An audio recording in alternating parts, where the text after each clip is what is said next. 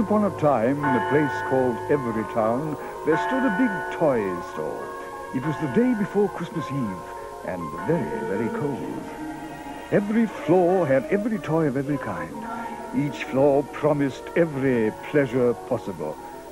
Each floor, that is, except for the bottommost floor of all. There in the basement was the reject department. Nobody ever went down there, except old Smithy, the toy mender. Every year, just before Christmas, he worked late into the night to mend as many of the broken toys as he possibly could. I'm sorry, Quincy. I've done what I can for you and the others, but I'm afraid it's of no use. We have to face the truth. The store only wants the very best toys to sell to the children. And you and all my other friends here just aren't perfect. A tear, a broken arm, a bent ear, reject.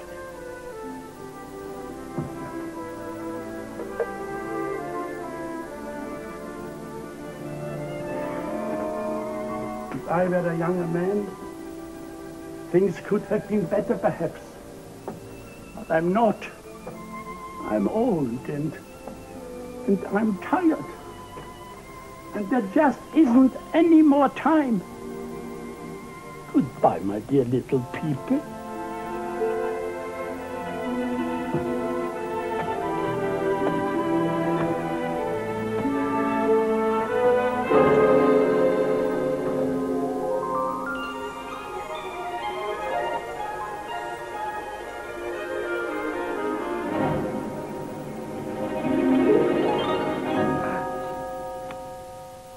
Yikes! It's time! Hey, you down there! Is anybody awake? Good morning. Good morning. Good morning, fellow toys. You know how I hate making noise. But it's time to get up. Up! Up! Hey, come on, everybody! Wake up! Let's make today happening day. A laugh every minute for happening day. Dust off your imaginations, take 'em off the shelf. You can't expect the day to do it by itself.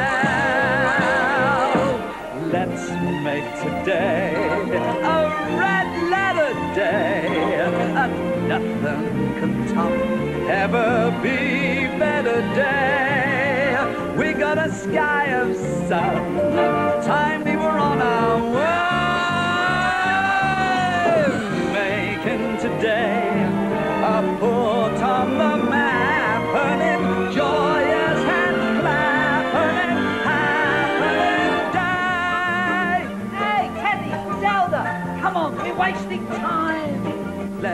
make today a bell ringing day. A super colossalus humdinging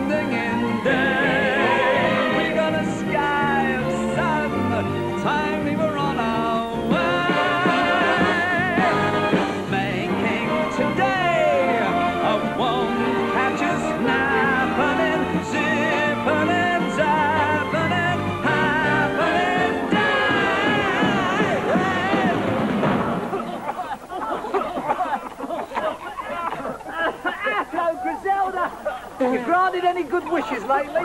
Me? Don't be so stupid. All the magic's gone out of my life. I mean, just take a look at me. I'm overweight, over 40, overstuffed, and it shows. Oh, never mind, Griselda. Someone will want you. Ow.